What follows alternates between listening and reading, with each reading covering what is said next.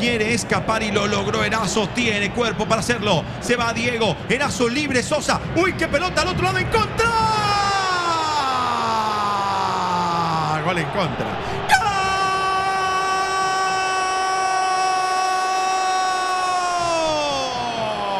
¡Gol!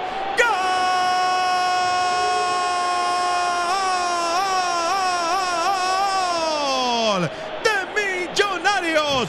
Si no lo puede hacer el azul, que lo hagan los rivales. Igual cuenta a favor. Sí, poseído por el espíritu del autogol. José Edilberto Gómez va al cierre, toca la pelota y la manda dentro para vencer a su propio arquero. Así es, el partido se abrió de la manera más inesperada. Este es el famoso Millos, este es el famoso embajador. Gritan en la tribuna y ahora Millonarios tiene uno en contra José Edilberto Gómez.